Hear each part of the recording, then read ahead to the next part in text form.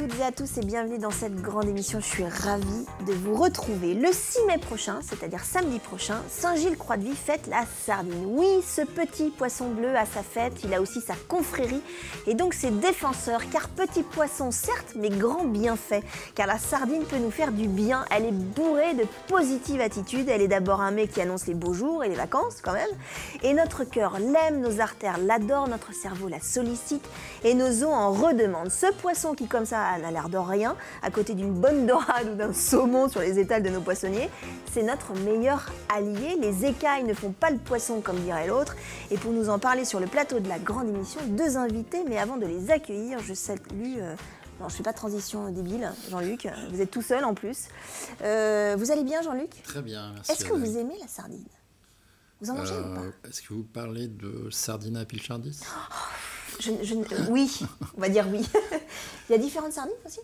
Non, il y a une Ah bah, sardine. Il y a le genre sardina et certainement il y, a, il y a plusieurs espèces. Mais à mon avis, celle dont il va être ques- question, c'est bien un pichardus, c'est ça? La pichardus, c'est ça? Oui. On va en parler avec euh, nos invités.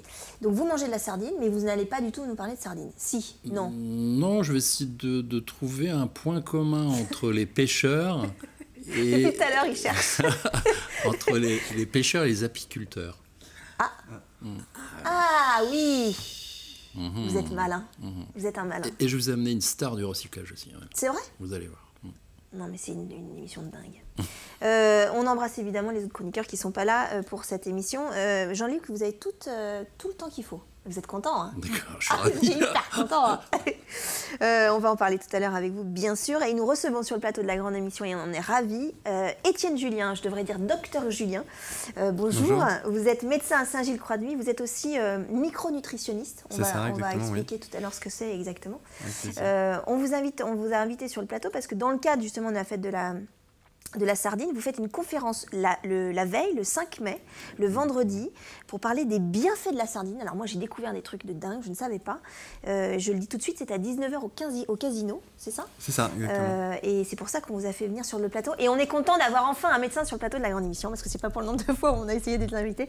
Ça nous fait très plaisir. Et à côté de vous, alors je sais pas si je dois le présenter, parce que Jean-Pierre, Jean-Pierre c'est une institution à TV Vendée. Jean-Pierre Pouvreau, euh, alors vous le connaissez, alors ne- vous êtes bien sur la grande émission, mais vous le connaissez pour, en tant que chroniqueur, comme, à- à- comme toujours avec mon, mon ami Jérôme Obino. Euh, bonjour Jean-Pierre. Ça fait, ça, ça fait du bien de venir aussi à la grande Euh, émission. oui, ça on, change, a, on hein a changé un petit peu de, de secteur. Tout va bien se passer. Et je le dis aussi, vous êtes restaurateur donc au Poucton, au Fenouillet, et vous êtes le membre fondateur de la confrérie de la sardine Oui. De Saint-Gilles. Et on va en parler aussi euh, euh, d'ici quelques instants, parce que la, la sardine, c'est une institution à Saint-Gilles. Euh, je- Jean-Pierre, je suis tombée sur un article vous concernant, avant de commencer l'émission, sur un article de Ouest France datant de 2013, et qui vous définissait, et j'aurais dû commencer par là, ainsi. Jean-Pierre Pouvreau est un activiste multicarte du bon goût. Ça vous va bien?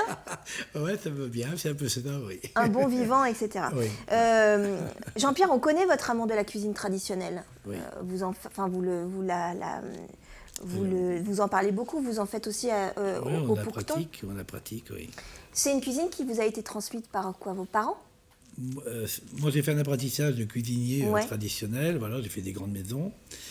Et euh, j'ai toujours comparé ce que j'apprenais dans les grandes cuisines, euh, sur Paris, euh, Lille, j'ai fait un petit tour de France, hein, et ce que ma mère faisait. Ma mère faisait vivre que des recettes de ménage, des recettes héritées des grands-mères du pays, etc. Et je trouvais que l'équilibre de la, de la cuisine traditionnelle était aussi fort que l'équilibre de la cuisine qu'on dit nouvelle, mais qui a évolué, qui a ouais. évolué, qui, Ouais. qui- qui est très bien, hein, c'est normal que ça évolue d'ailleurs. Ouais. Et il faut savoir que les bases de la cuisine traditionnelle ouvrent des portes à, à des revisitages, il y a plein de façons d'appréhender le, le goût. Voilà. D'accord. Plein de façons différentes d'appréhender le goût, avec euh, des garnitures, des façons différentes de faire, de faire les sauces, de faire des, des jus. Maintenant, c'est plus des sauces liées, c'est des sauces plus légères. Oui, bien sûr, Mais la finalité, quelque part, elle est la même. Et le, moi, je, je me suis amusé à, à travailler la cuisine traditionnelle comme la nouvelle cuisine, en respectant simplement les bases. Et c'est surprenant. Alors après, on peut la décomposer, on peut la revisiter. Il y a plein de possibilités. Mais ça reste une, une bible. Ouais, Ça reste une Bible. euh, une Bible du, euh, c'est du vécu, c'est du transmis oralement, Ouais, c'est ça. souvent. Avec, il faut savoir que d'une famille à l'autre, il y a un peu plus de crème, il y a un peu, mais enfin, en grosso modo, ça se ressemble. On les en ratas- fonction des physiques aussi, oui, voilà. familles. On prend les ratas de Margate qui a, par, qui a, pour- hein, qui a, par exemple sur l'Idieu, qui a à La Chaume, Ouais, ouais. qui a à Saint-Gilles, qui a à Normoutier. Bon, hein, tout ça, c'est que d'un germain, quoi. Ouais. Euh, vous aviez une question, Jean-Luc, déjà? Oui, est-ce Déjà? que et- déjà avez-vous exploré les, les très très vieilles, très très anciennes euh, recettes, puisqu'on va parler de la, On va de la parler de la sardine. sardine, ouais. Je crois que les Romains avaient un- quelque chose de, enfin peut-être un peu extra, extravagant. De quoi? Euh, le, le garum. C'est quoi le ouais. garum C'était. Alors, on a euh, un des- micro-nutritionniste aussi à côté Les en tant que médecin. pour la cuisine, c'est Jean-Pierre voilà. C'était des- c'était des- les viscères euh, des, des sardines Ah euh, oui. qui étaient mises à macérer dans du sel, je crois 50% de sel, 50% de viscères. Et c'était oui. euh, ensuite euh, un peu mis sous vide dans les, les petits amphores parce que ça coûtait cher. D'accord. Ah, Et oui. c'est uti- utilisé comme sauce. C'est le terme de sauce que vous avez utilisé. qui Oui, oui, fait complètement. cliquer, ouais. Non, Voilà. non. Ah oui. Non, nous, on a. J'ai le souvenir dans le temps, maintenant ça a disparu complètement, j'en avais ramené une fois. C'était la sardine salée qu'on mangeait l'hiver, la sardine qui était, qui était pressée, une couche de sardine, une couche de sel. C'était de la Ah, sardine, voilà, de la sardine salée qui, était, qui se mangeait toute l'année. D'accord. C'était très très dur parce que c'était très salé. Compacté et- et Compacté, voilà. Mais non, j'ai pas. J'ai pas euh, non. Ah oui, eh. J'apprends quelque chose. Euh, doc- docteur Julien, euh, vous êtes médecin à Saint-Gilles-Croix-Lui, médecin généraliste, c'est ça Oui, c'est ça. Mais vous avez une spécialité de micro, micronutritionniste. Ça Ouais. veut, c'est quoi Euh, la micronutrition, c'est tout ce qui s'intéresse à euh, tous les éléments non caloriques, c'est-à-dire euh, euh, vitamines, euh, oligo-éléments, euh, toutes les choses qu'on peut trouver dans les, dans les viscères de, de, de- de poissons qui peuvent être intéressantes aussi. Euh, la, la- la protamine, qui est quelque chose qui a, qui a eu beaucoup d'implications euh, dans l'utilisation des médicaments. Parce que des, des- petites amines qui viennent se, se coller aux médicaments qu'on arrive à synthétiser maintenant pour l'héparine, l'insuline, pour durent euh, 12 ou 24 heures, ou même des fois plus longtemps. On met du sulfate de protamine dans les, les parines ou des, des produits comme Ce ça. qui explique votre intérêt pour la sardine. On va en parler ici. Alors l'intérêt pour la sardine, il, il est naturel. hein. Moi je, je suis auvergnat, euh, la sardine euh, c'est le poisson que j'ai mangé en premier, le, le plus avec la morue euh, salée, Ah oui, parce oui. qu'en Auvergne, euh, je vous conseille pas de manger les poissons qu'il y a sur les. Enfin, c'est- sans- J'ai rien avec les poissonniers de, de- du Cantal, mais euh, il y a quand même... euh, voilà. Il y a une différence avec les poissonniers vendéens, on est Euh, d'accord oui, oui, c'est un choc hein, quand on arrive à en Vendée. euh, bon, Ouais, ça sent pas pareil, ça sent pas déjà. c'est ouais, Voilà. c'est ça. Alors que ici, en Vendée, ça, ça, ça, Ah ça oui, sent. sont... Moi- bah non, il faut pas que ça sente un poisson. Ah si ça sent, c'est que c'est trop tard. hein, Ah oui, c'est clairement. sûr. Euh, euh, Jean-Pierre, c'est vrai que c'est votre père qui vous a appris à préparer les sardines? C'est euh, moi de la suis. Ça vient de l'enfance? Ça vient de l'enfance, c'est-à-dire que les marins Ouais. allaient pêcher la pibale le long, le long de la vie. Donc on avait des relations privilégiées avec le, le monde maritime, on faisait nos achats à Saint-Gilles.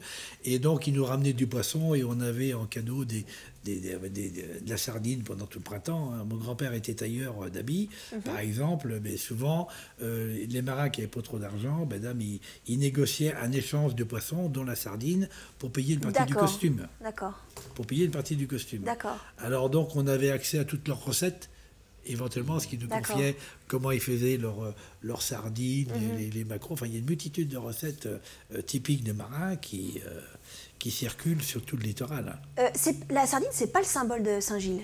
Non, pas encore. Ça devrait.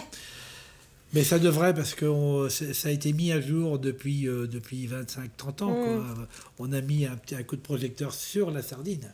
Ah, mais donc, euh, avant la sardine, au début de la confrérie de la sardine, Mm. le maire de Blevoque a dit Ouais, mais il aurait mieux fait de monter la, sardine, la, la confrérie du bar, parce que c'était plus noble. Ah, mais on va revenir à cette histoire de noblesse. Voilà, de- voilà. voilà. Alors qu'on revient à la sardine maintenant. hein. Alors que la sardine, c'est le, c'est vraiment le poisson populaire par, ça, euh, par excellence, par hein. excellence, Ouais. qui, euh, qui représente complètement la ville de Saint-Gilles. Complètement. Et, et on va faire un point parce que là, euh, le 6 mai prochain, c'est la fête de la sardine, on dit de printemps. Oui. Donc ça veut dire qu'il y a une sardine d'été Mais si vous voulez, la, la sardine de, vingt- de, de- Moi, je suis dans le traditionnel. La sardine de printemps, il y avait une tradition autrefois, on offrait. Ça, ça signifiait que la pêche à la sardine était partie. Ça veut dire que les premières sardines pêchées, ils mettaient une date et on offrait la première caisse au maire du pays, D'accord. au maire de Saint-Gilles. C'était le rituel qui disait que La saison est lancée. la saison On était peut lancée. pêcher la sardine. Et éventuellement, il y a le curé qui venait bénir les bateaux de pêche à la- les, les sardiniers. Et c'était l'occasion d'un petit cérémonial euh, intime, hein, voilà, entre les marins, le maire, voilà, c'était complètement confidentiel. hein. Et je trouvais que c'était intéressant d'en faire une opération de communication et de, de- de proposer aux restaurateurs de Saint-Gilles-Croix-de-Vie et des environs ben, de, de les sensibiliser pour travailler la sardine Mhm. pendant à partir de la sardine de printemps et après tout le, tout le restant de, de l'année. Ce qui veut dire que la sardine, on la, on la pêche euh, à partir d'aujourd'hui, enfin de, de là, et puis on Oui. peut la consommer jusqu'à quand? Jusqu'au mois de septembre. Jusqu'au mois de septembre, octobre, ouais, ouais. Septembre, octobre? C'est le repas ou c'est encore là? Oui, ouais. Donc il y a- il y, a quand même plusieurs mois où on peut la consommer. Ah oui, euh. Et la consommer aussi en boîte euh, toute l'année. Mais, Et euh, toute l'année en boîte, oui. Mais sauf que si vous voulez, la, la première sardine a un taux de graisse qui est largement inférieur à ce qu'elle a. Euh, les conserveries la mettent surtout en boîte à partir Plus du tard. mois de. Ouais, plutôt Juillet, de. août, ouais. Fin mai, juin, juillet, août, où là, elle a un bon taux de, taux, taux de graisse. ce, qui, ce qui ne veut pas dire, je me rapproche du docteur, ce qui ne veut pas dire que la sardine d'aujourd'hui qu'on va pêcher là, euh, le 6 mai prochain, elle est, elle est bonne quand même. Oui, elle Elle a est bonne des- quand même, elle a les, protéines restent très bonnes, ça Bien reste des, des- des protéines euh, complètes si on peut dire, parce que tous les, tous les acides aminés sont représentés, tous les essentiels en tout cas. Donc ça, ça reste quand même un, un- un- un bon poisson, un bon nutriment. Mais après la sardine de primeur, c'est un peu comme le Beaujolais. Voilà. C'est Voilà. un peu pour Voilà, marquer, c'est pour marquer le coup. C'est pour marquer le coup, quoi. Voilà. Bonne comparaison avec les Beaujolais. hein. C'est une très bonne comparaison. Non mais c'est pour marquer le coup. Et ensuite, on... et d'ailleurs le Beaujolais, il y a plusieurs sortes de Beaujolais. Il y a Voilà, des- c'est pareil. bien sûr. Ouais, c'est pareil pour la sardine. Euh, en coulisses, tout à l'heure, vous me disiez qu'elle elle prend 20%, c'est ça? Elle grossit de 20% Elle, Elle- elle elle- prend poids en Le- graisse. Elle va remplacer euh, 20% de son poids en eau par de la graisse euh, entre euh, avril et octobre. Ah oui. Ce qui veut dire qu'elle va être plus dodue, Euh, non, son poids change quasiment pas. Ah oui, elle grandit elle et la proportion de graisse augmente plus riche. en, en, en, en faisant prendre la place de l'eau. La place de protéines reste la même, c'est grosso modo 20% du poids en protéines. d'accord. Et puis après, le- la graisse plus l'eau font 80% du poids de la sardine. Et cette, euh, ça évolue. euh, et, et on peut dire que la sardine, elle a un, un potentiel d'acide gras qui va évoluer d'un facteur 1 à 23. Euh, Jusqu'à 23, ouais. Ah oui, Dans les poissons, c'est un des, des- des plus, euh, les plus importants. L'anchois doit faire euh, 30, mais sinon, c'est la, la sardine qui varie le plus.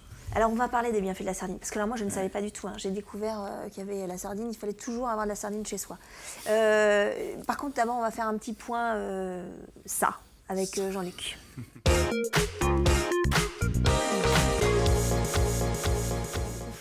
Qu'est-ce que c'est que ce Bah truc si, si, moi, euh, c'est des larves. Euh, oui, effectivement, ce sont On des larves. hein. Oui, ce sont des larves, parce que euh, c'est un animal qui, euh, c'est un, un lépidoptère, donc c'est un papillon. Il va passer par plusieurs phases.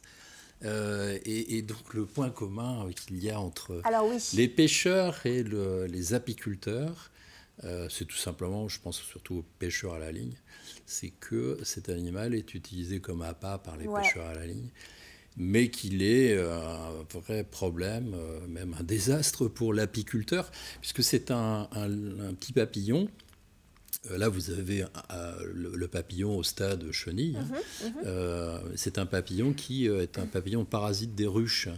Et alors, c'est assez rare des animaux qui soient aussi, euh, euh, aussi li- limités dans leurs possibilités. Celui-là, il ne vit que euh, dans les ruches ou, et au, au parage, au- au- dans les, à proximité des ruches. Euh, simplement parce que Sinon, oui, parce qu'en fait, c'est ça, euh, c'est son abri et c'est surtout sa source de nourriture. D'où le petit morceau de miel que vous avez mis dans oui, le oui, bocal. tout à fait, voilà. D'accord. Euh, donc euh, au, au pro- au stade après l'œuf, si vous voulez, on a eu des toutes petites chenilles, donc rien à voir avec euh, ces grassouillettes-là, des toutes petites chenilles qui vont se propulser vers le centre de la ruche, là où il y a le couvain, là où il y a les, les larves d'a- de- d'abeilles, et elles vont, elles vont rentrer, elles vont consommer de la gelée royale, elles vont rentrer dans les cellules, elles les perforent, ils ont des mâchoires de folie, elles les perforent, et pour finir, elles consomment aussi euh, les, les- les petites abeilles, enfin les larves d'abeilles. Elles peuvent en détruire de, de 40 000 à 100 000. Alors vous allez me dire, dans une ruche, il y a que 50 000 Ouais. abeilles, je crois. Euh, mais ça veut dire que les ruches, les- la ruche, en fait, s'épuise à produire de, de- D'accord. des- des- du couvain. Voilà. D'accord. Euh, alors c'est un animal euh, assez particulier, euh, petit. Alors c'est pas beau, vous trouvez pas ça beau? Alors vous allez voir un peu le papillon, il est encore plus, il est encore plus pas beau. ah Parce que moi je m'attendais justement que ce soit très. vous voyez le ah papillon, le papillon il est là, ce petit machin là, que je vais, je vais éviter qu'il s'en aille. Et à côté vous avez donc des chrysalides, hein, puisque c'est un papillon classique. Hein. Ah je m'attendais à un beau papillon. non, c'est pas très beau. C'est l'aide du début à la fin de sa vie quoi en fait.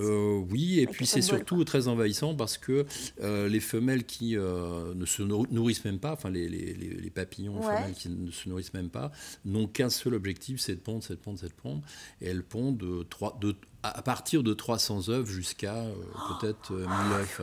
Donc rapidement, ça va être un, ça va être un gros problème de, dans, dans la ruche. Alors ce qui est bizarre, c'est qu'on peut se demander pourquoi euh, ce papillon arrive à parasiter euh, la ruche, sachant qu'il euh, y a des abeilles qui sont là à l'entrée et qui filtrent les entrées. C'est comme les, les vigies dans les boîtes de nuit. devant les boîtes de nuit. Exactement. et alors, on s'est longtemps interrogé là-dessus. jusqu'à ce qu'un un apiculteur ou un biologiste, je sais plus, en écrase, écrase un papillon à l'entrée d'une ruche et il s'aperçoit à ce moment-là que les abeilles se comportent comme si c'était une reine. Et donc en fait, euh, on parle de euh, mimétisme olfactif ou d'olfactomimétisme. Ah, ça sentirait la même ça chose sent, Ça sent la même chose, il y a des phéromones, des odeurs qui font que le papillon peut rentrer sans problème. Les, euh, les chenilles, la, partie chenille, beaucoup moins. c'est un peu plus difficile, mais comme il y a une grosse ponte, il y en a toujours une ou deux ou dix ou cent qui arrivent à sortir. Ah ouais, elle n'a pas le bon dress code. Voilà la pâte, c'est pas complet. Elle se pointe en boîte en basket. Mais en même temps, euh, voilà, la, y a dans, la, nature fait bien les choses parce que cet animal euh, perdure, mais en même temps, euh, c'est relativement limité parce que les abeilles vont quand même tuer les, chenilles, la partie chenille quand elles, quand elles sortent de la ruche. Voilà. C'est passionnant. On refait un point tout à l'heure? Tout à fait. Vachement bien. Mais ils n'ont pas le bon dress code. Ils ne pas rentrer. Madame circuler.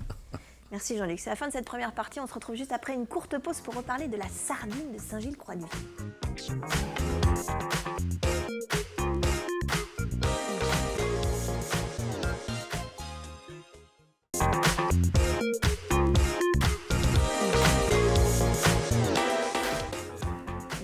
La deuxième partie de cette grande émission et autant vous dire que pendant la pause, ça parle encore sardine. Euh, nous sommes en compagnie de Jean-Pierre Pouvreau qui est euh, euh, restaurateur au Poucton et qui est aussi membre fondateur de la Confrérie de la Sardine. On va en parler d'ici quelques instants mais aussi chroniqueur, comme toujours, euh, sur la chaîne TV Vendée. Et puis le docteur Julien, qui est médecin à Saint-Gilles-Croix-de-Vie et qui est micronutritionniste et qui fait en conférence le 5 mai, c'est-à-dire la veille de la fête de la sardine à Saint-Gilles-Croix-de-Vie, à 19h pour parler des bienfaits de la sardine. C'est à 19h au Casino de Saint-Gilles. Euh, d'ici quelques instants, la suite de la chronique de Jean-Luc. Euh, docteur Julien, moi je ne savais pas. Alors moi, on, m'a toujours, j'ai toujours entendu dire qu'il faut toujours un peu de sardine à la maison mais je ne savais pas pourquoi. Bah, quand on... rentre le dimanche soir et qu'on n'a rien à manger. A rien à manger. ça et les coquillettes. Ça, c'est les coquillettes. Euh, mais euh, je, ne, je, ne, savais pas qu'il y avait autant de bienfaits euh, dans la sardine, qui est pourtant un poisson qui paraît quand même absolument banal et qui n'a pas trop de, de gueule. Enfin, bah, c'est vrai, c'est pas, pas glamour. On peut pas dire que la sardine, soit. Mais si on la regarde de près, elle est quand même bien brillante. Elle est bleue, elle est jolie. glossy. Ah et c'est surtout l'apport pour les oméga 3 en premier, hein, pour la sardine. Il faut Mais ça, c'est à tous les poissons. Oui, mais la sardine, euh, vous mangez deux rations de 100 grammes, deux rations de 100 grammes par semaine des, sardines d'été. Euh, vous avez votre euh, rapport d'oméga 3 pour la semaine, quoi, deux mmh. rations. Alors que si vous voulez l'avoir autrement, eh ben, il faut boire deux, pour l'équivalence, deux cuillères à soupe d'huile de colza. Oh. Mmh. Donc c'est quand même plus facile de manger ah deux portions de sardines, soit en fraîche, soit en, conserve, soit du hareng. Il n'y a pas que la sardine évidemment, mais la sardine, elle, est vraiment très très facile à, ah, une boîte, c'est une boîte, c'est vite ouvert, une boîte d'huile de, On en a devant la, à la, chez estampillé, sardines de printemps d'ailleurs. Hein, voilà, la recette idéale avec des petites euh, pommes de terre en salade, des oignons rouges. Ah là, vous avez un cocktail de, de, de, de, de micronutriments qui, qui, qui, va vous mettre en forme et, et moi, je conseille à mes patients d'en manger le matin. Alors, ceux qui me regardent euh, vont, vont, bien rire parce que. Le matin, mais attendez pas avec La première fois comme, que je dis ça, on regarde comme ça. Ah oui. avec le café, vous n'êtes pas obligé de tremper dedans. Hein. après, c'est une histoire de goût, mais c'est très bon pour le cerveau. Le fait de manger des protéines le matin. Manger poisson, ah poisson ça rend intelligent. Oui, puis de euh, manger les sardines le matin, l'apport de protéines le matin, c'est pas que les sardines, hein, mais l'apport de protéines le matin, en plus la sardine, elle apporte les oméga 3 en plus, mhm. va vous permettre de mieux dormir parce que euh, on va faire entrer plus de précurseurs de la sérotonine, de la mélatonine au niveau de votre cerveau. Donc il vaut mieux manger des protéines et donc euh, des sardines le matin euh, pour ça. Et puis du coup, quand vous mangez des sardines le matin, par expérience, vous n'avez pas faim avant 13h, 14h. Quand, vous avez des grosses journées, comme moi ou comme certains de mes patients, ben, je leur conseille manger des sardines le matin. Vous en mangez le matin des sardines? Oui, oui, ça m'arrive un peu moins souvent parce que je n'ai mangé beaucoup au début où je suis arrivé à Saint-Gilles. et, oui, et puis du coup, ben, c'est comme quand on mange beaucoup d'une chose, on s'en lasse. Oui, Donc je varie. Saumon, sardines, euh, hareng, euh, sprat, euh, enfin tout, tout ce qu'on peut trouver. Mm. Mais alors, attendez, parce que y a, y a, je me rapproche du restaurateur et du cuisinier, mais consommer de la sardine, c'est très bien, mais moi, je la consomme avec une bonne tranche de pain, une bonne épaisseur de beurre. Enfin, vous voyez ce que je veux dire? Et les sardines à l'huile, alors dans ce cas-là, qui, qui, sont dans les boîtes et l'huile autour, on se dit, bah non, c'est pas si bon que ça pour. c'est quand même bourré de lipides. Et, et c'est pas si bon que ça pour nous. le gras, c'est la vie. Oui. Merci. Vous faites ma journée. Je n'arrête pas de le dire. On est, le gras. non, mais comment Est-ce que la sardine, elle peut se consommer avec du beurre ou il faut juste la consommer comme ça La, micronutrition, c'est justement pour essayer de, de, se déculpabiliser à manger des choses qu'on aime. Les, les, plats traditionnels sont toujours un peu riches, mais si on en mange depuis des, des centaines d'années, c'est qu'ils n'ont pas tué les gens. Vous voyez, le, couscous, c'est un plat formidable, le, le cassoulet, c'est un plat formidable, la, sardine, c'est formidable. Si les marins, euh, qui, étaient souvent des gens qui n'avaient pas énormément de moyens, les pêcheurs de sardines, c'est des, ils payaient leurs costumes ou leurs habits avec des sardines. et euh, eh ben, ils vivaient aussi vieux que les autres. Hein. Pourquoi? Euh, Sûrement grâce à la sardine, on ne le sait pas vraiment, mais c'est quand même quelque chose qui les protégeait. On sait que l'index oméga 3, oméga 6 dans nos cellules, c'est un marqueur direct, bien plus précis que le cholestérol ou les LDL ou les HDL, tout ce que vous voulez de la mortalité cardiaque. Ah C'est-à-dire que la même personne, deux personnes avec le même. On fait le test sur deux personnes. Avec les mêmes coronaires, mmh. euh, la personne qui va faire un arrêt cardiaque et qui a un rapport oméga 3 sur oméga 6 qui est nul, il va mourir dans la, dans la, dans la, demi-heure. Hein. Vous n'allez jamais pouvoir le récupérer en massant. Quelqu'un qui a un index oméga 3 costaud, euh, et donc, qui élevé, mange de la sardine, qui mange la sardine ou d'autres oméga 3, mais la sardine c'est vraiment le, plus simple, l'aliment le plus simple à, assimiler dans ce cas-là vous allez les récupérer et il va, il va, il va, récupérer derrière parce que il a des, cellules qui sont.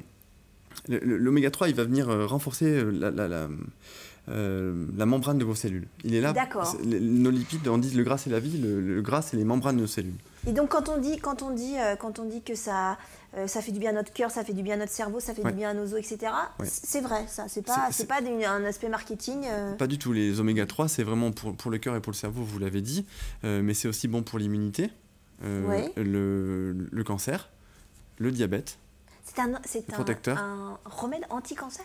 La sardine peut... Non, on est sur la prévention là, attention. Hein. Ne faites pas dire que, le diabète, euh, que la sardine peut soigner le diabète. Hein. on est d'accord. Qu'on soit clair. Oui, oui, évidemment. Au niveau de la, prévention, au niveau de la prévention, mm. la prévention des maladies cardiovasculaires, du diabète, c'est prouvé.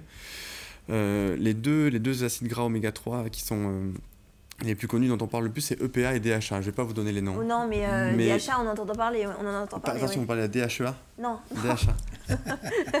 non. Je suis pas très malaise, mais quand même. Donc EPA, DHA, on sait qu'ils ont un effet euh, directement hypocholestérolémiant. Ils ont un effet euh, un oxygène, c'est-à-dire qu'ils vont vous empêcher d'avoir faim et ils, vous empêcher, ils vont vous empêcher de prendre du poids. Donc de grignoter, etc. etc. Oui. On Surtout si vous les prenez le matin. Non, mais on va reparler parce que ça m'intéresse. Euh, Jean-Luc, sans aucune transition, on reparle de vos copines? Euh, Oui, j'avais une question. Ah, mais allez-y, puis après, c'est votre chronique quand même. Là, hein. euh, là, vous parlez de la sardine fraîche ou quand elle est cuite, il reste quoi Alors, c'est un, volet important, la transformation euh, de, la sardine. Euh, il y, a beaucoup de techniques de cuisson qui peuvent être délétères pour les oméga 3. Mais si on les barbecues, par exemple? Les barbecues, si les températures ne sont pas contrôlées, ça peut être très dangereux. C'est-à-dire qu'on transforme un produit qui est formidable en, quelque chose qui, peut devenir une bombe. Ah oui Avec des effets mutagènes euh, à cause de, de certaines amines aromatiques qu'il ne faut pas négliger. Jean-Pierre Je voulais rebondir là-dessus pour dire euh, deux, choses. D'abord, la tradition euh, chez les marins et chez, euh, chez nous, hein, c'était de faire cuire les sardines avec les tripes. On n'étripe pas les sardines quand elles sont fraîches et elles sont, oui, on, les, fait cuire. Pas, elles sont cuites avec la tripe. Donc il y a peut-être une relation entre le fait que la tripe cuise avec la sardine Et, euh, C'est et- toujours pareil, c'est une histoire de, de Ah. fraîcheur de sardine. Oui, voilà, il faut Si- qu'elle soit fraîche. Si les entrailles sont fraîches, euh, Oui, oui, faut qu'elle c'est- soit. c'est- Et autrefois, les marins faisaient des quatriades pour partager un petit peu l'argent de la vente des sardines. Et régulièrement, il y avait une bouilliture de sardines. On appelle, on appelle- on appelle ça comme on Une veut. bouilliture. Une bouilliture de sardines, c'était ben, un bon courbouillon avec euh, euh, des herbes, du romarin, du thym, du laurier, des pommes de terre, des légumes. Et ils mettaient une, la sardine à la fin. Comme ça. et dès que ça rebouillait, c'était bon à manger. Un petit peu de vin blanc pour relever un petit peu le tout. Et du pain au levain. Du pain au levain, c'est très important. C'est le seul pain qui a du goût. D'accord. Le levain parfume le pain. C'est complètement je, je valide. complètement passé de mode. Moi, j'en parle régulièrement parce que plus personne n'en parle du pain au levain. Il y a plein, enfin bon, je vais arrêter là. Il y a Non, plein, non, de, si, si, il y a plein de pains spéciaux, alors qu'il faut manger du pain au levain. Le vin. Voilà. Avec de la sardine. Ouais, mais on va en reparler de ça. Parce que moi, ça m'intéresse parce que ça, déculpabilise à mort. hein, On est d'accord. hein, pouvoir- Euh, Jean-Luc, on va reparler quand même de vos larves, de vos papillons. Oui, ce sont de des vos- papillons, bon, modestes papillons quand même. Euh, je vais revenir quand même vers la sardine. Non, mais si vous voulez avez pas faire votre chronique, vous dites. Euh, on va, on va, on va. Problème comme ça. la sardine et les océans, évidemment. Et bien sûr, vous avez tous entendu parler du septième continent, Oui, cette, cette horreur en plastique. cette horreur en plastique. ouais. Euh, donc des, des millions de, de tonnes de plastique déchets, qui ouais, sont localisés en, en gros entre le, le Japon euh, euh, et nos côtes pratiquement. hein.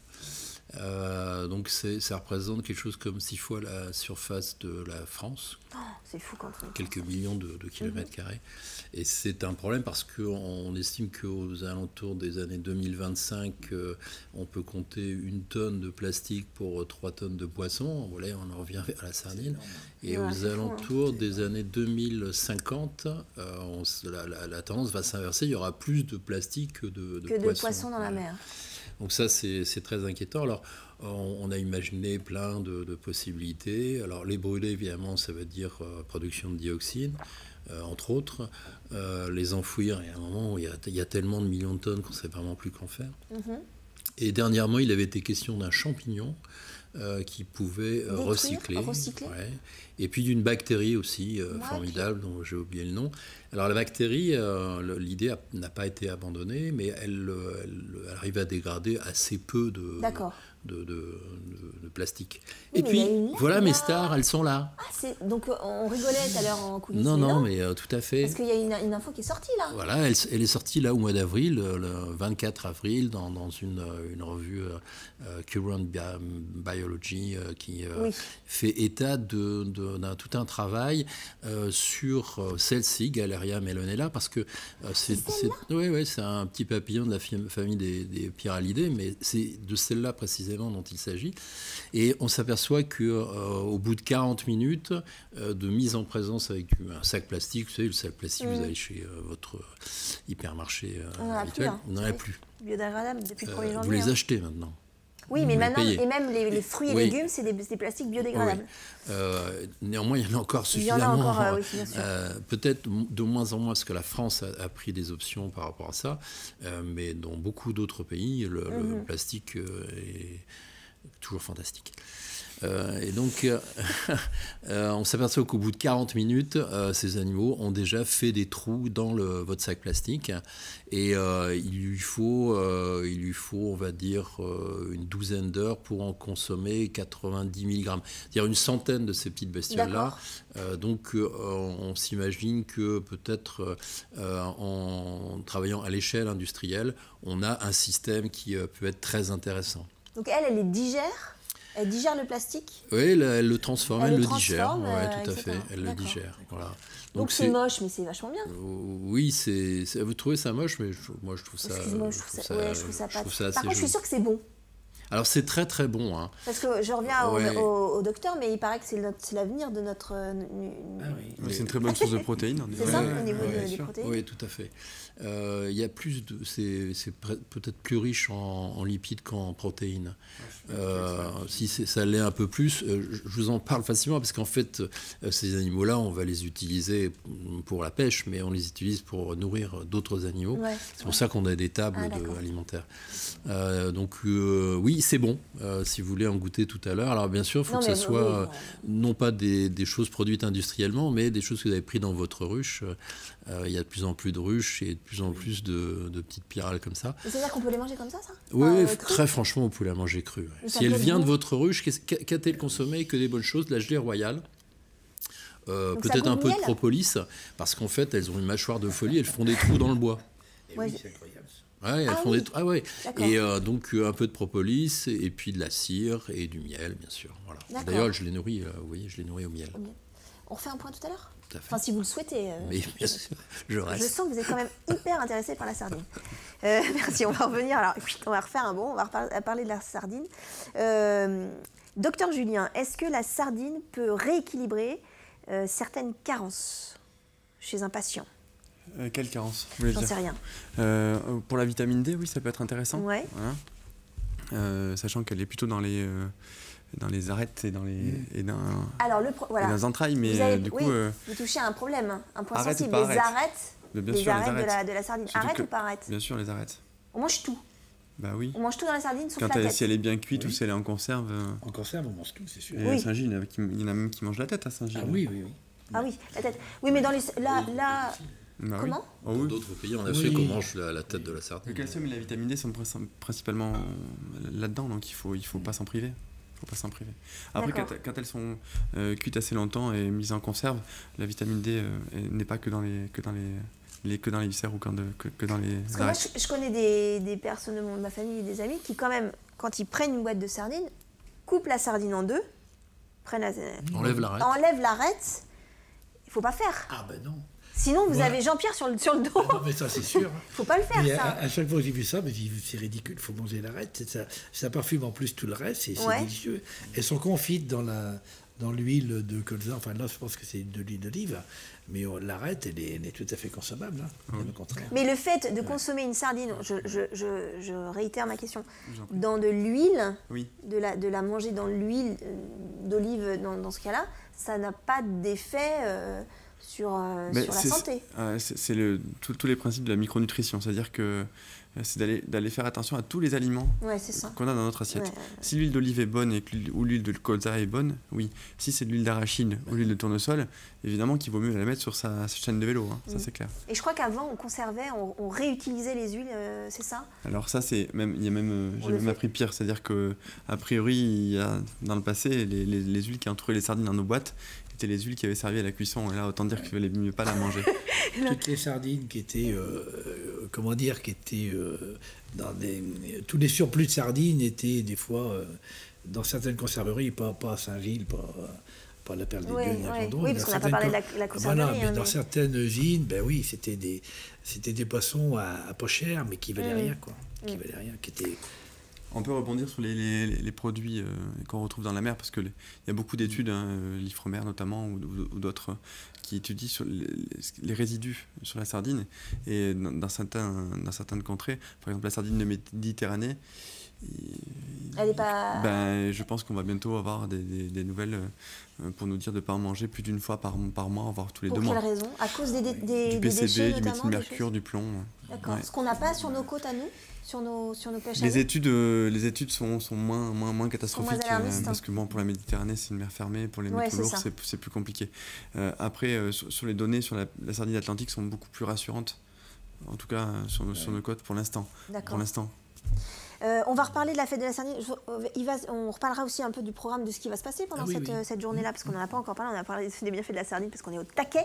Mais euh, on va reparler dans la troisième partie de cette grande émission. On se retrouve juste après une courte pause pour reparler de la sardine, de ses bienfaits et de la fête de la sardine du 6 mai prochain à Saint-Gilles-Croix-de-Vie.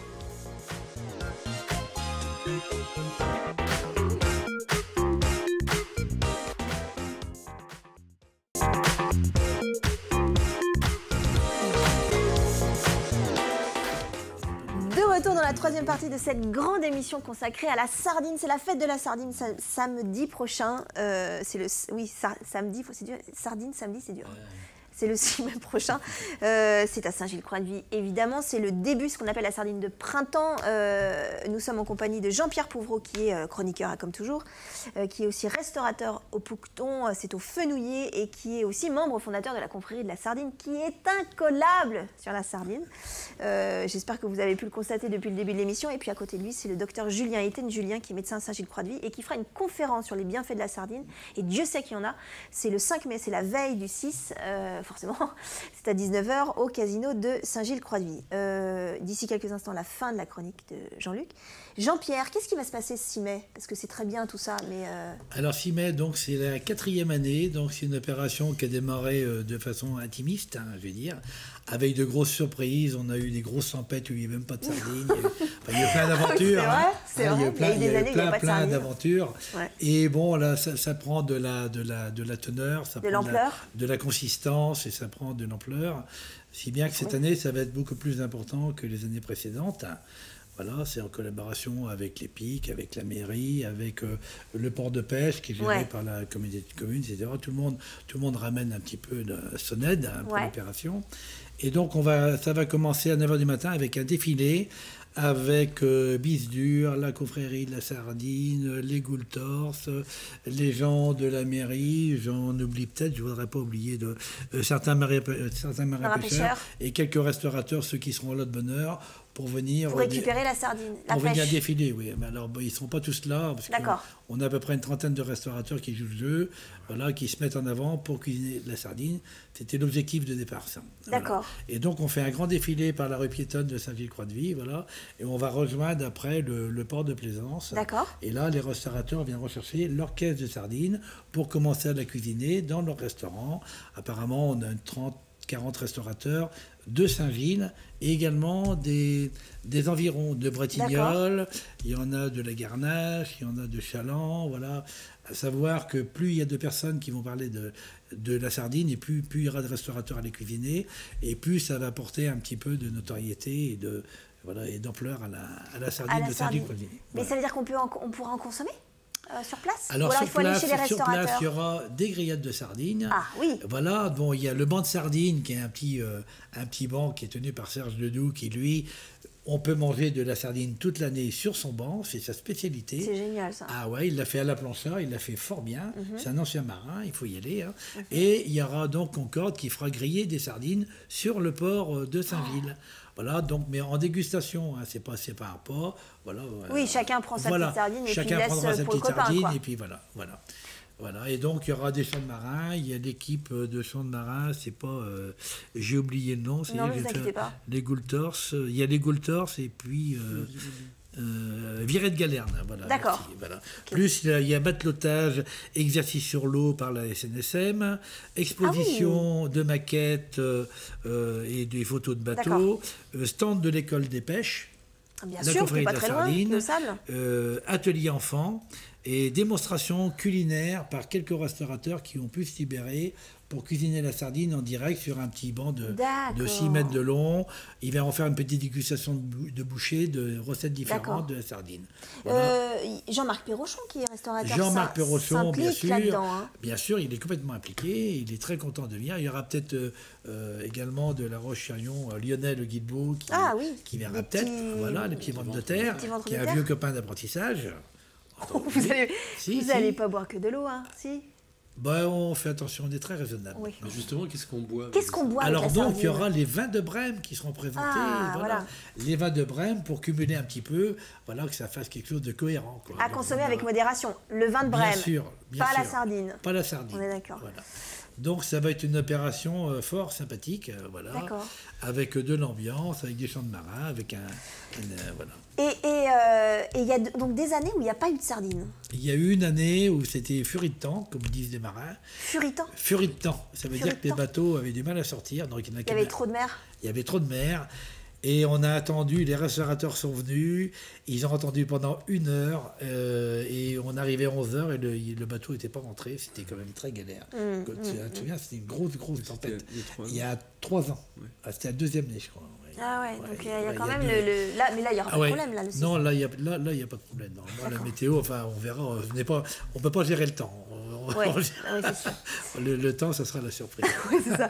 On va en reparler évidemment de, et on va terminer l'émission sur la sardine. Euh, on refait un petit point sur votre chronique, euh, Jean-Luc? Oui, alors les, les, valeurs alimentaires, ça y est, c'est merveilleux. En fait, effectivement, c'est beaucoup plus riche et je vous disais que on donne ça à d'autres animaux, effectivement. on...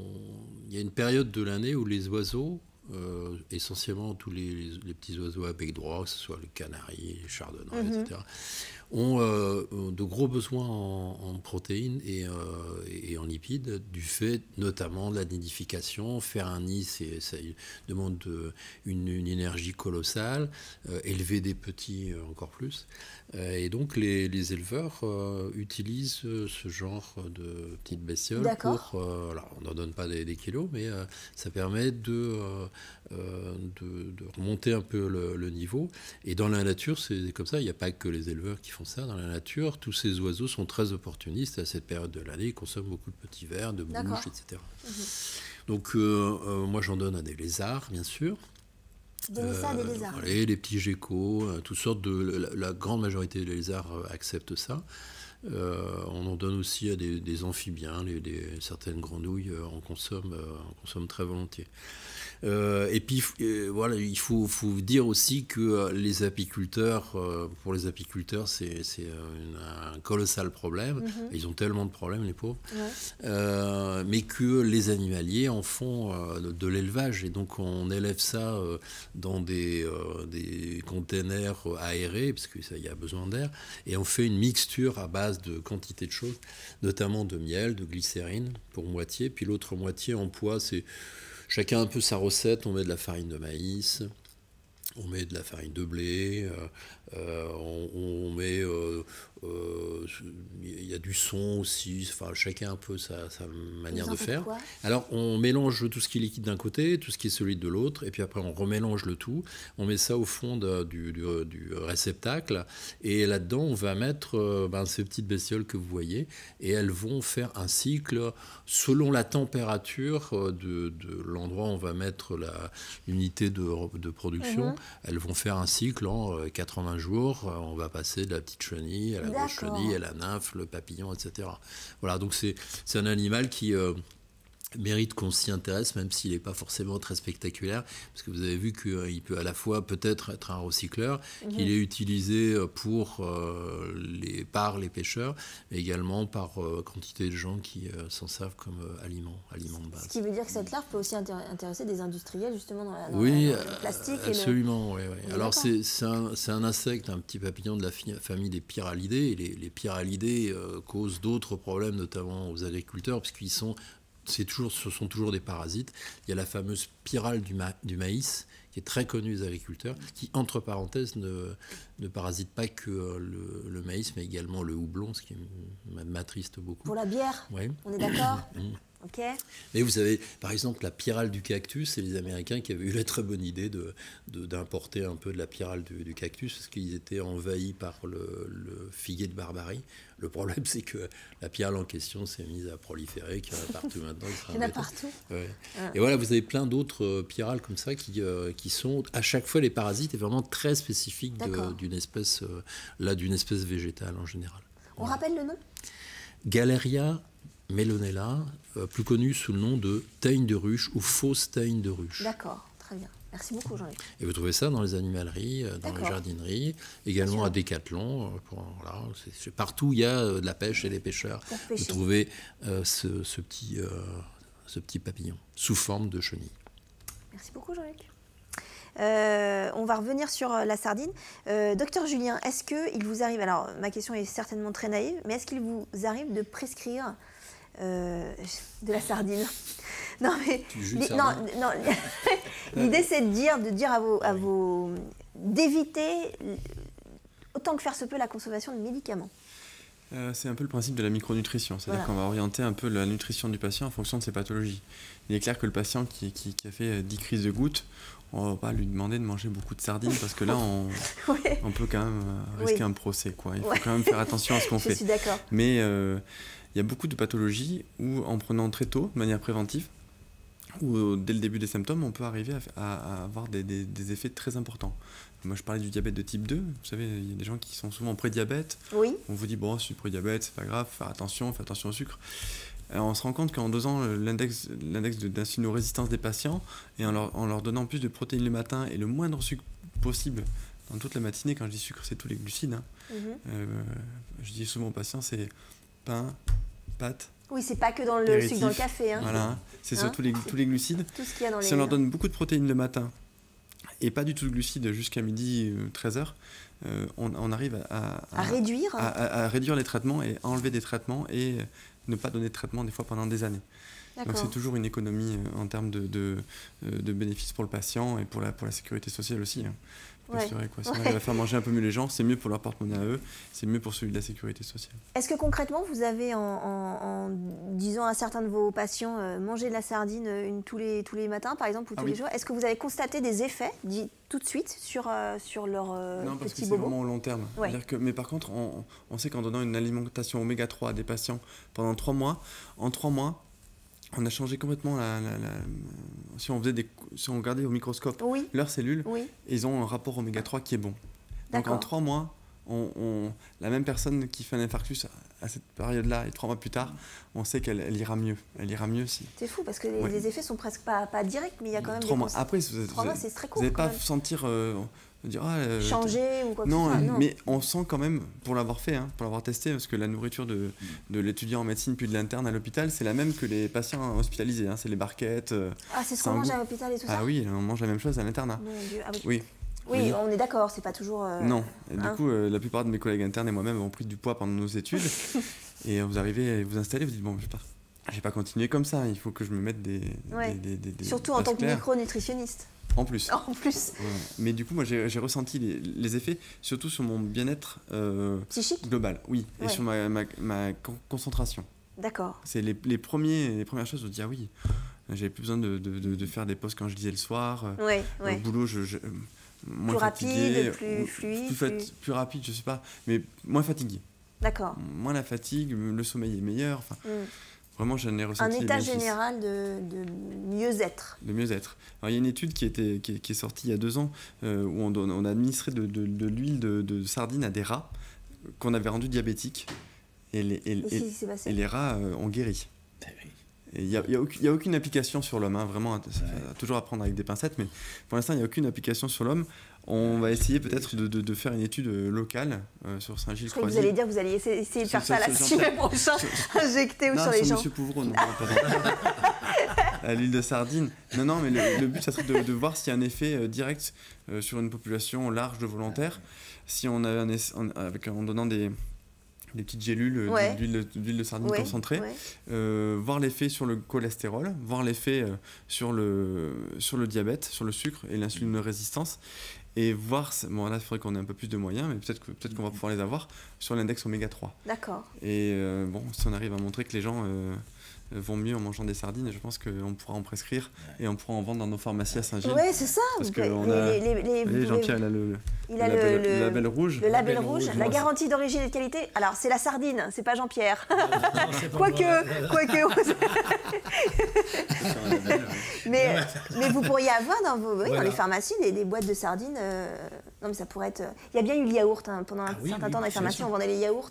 Euh, euh, juste avant de terminer cette émission, Jean-Pierre, il y a toujours autant de sardines qu'avant il y en a, oui, il y en a toujours autant.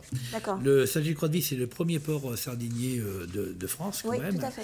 Et euh, la sardine de Saint-Gilles Croix de Vie a un label qui a été fait par Valorem avec l'entreprise Chandreau, la Perle des Dieux. Et donc, ils ont un label qui garantit, un label qui garantit la, la, fraîcheur de la sardine du bateau les glaces du bateau jusqu'à la mise en boîte en conserve. Et donc c'est le label rouge, donc je porte un tablier, voilà. C'est authentifié par euh, Valorem, voilà. C'est une association, une association entre la maison Gendreau et les marins qui pêchent la sardine. Et alors, moi je suis jalouse, parce que là, comme toujours, euh, Jean-Pierre, il finit toujours l'émission avec un petit dicton. Est-ce que, est -ce, qu'on est que la grande émission pourrait avoir un petit dicton? Oui, oui. C'est vrai? Oui, oui. Alors bon, c'est pas vraiment un dicton c'est un, ami marin qui a 90 ans, qui mange beaucoup de sardines. Euh, pleine forme? euh, ouais, qui a mangé beaucoup de sardines. Monsieur Driez, Monsieur Driez, qui est, qui est un poète de la marine, euh, Roger Driez, hein, Ouais, quelqu'un ouais. de fabuleux. Il m'a dit, mon petit gars, va te raconter un truc. Quand quand il n'y a pas d'eau, je bois de l'eau. Quand il y a de l'eau, je bois du vin.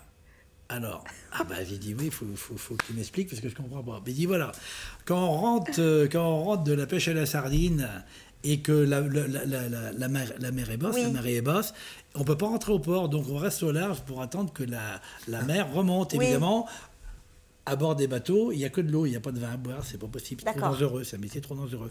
Par contre, si la marée est bonne, qu'il y a de l'eau dans le port, quand il y a de l'eau, ils boivent du vin, ils vont euh, se désaltérer dans les petits cafés de. Ce que vous pourrez faire le 6 mai prochain, la Voilà. fête de la, de la Voilà.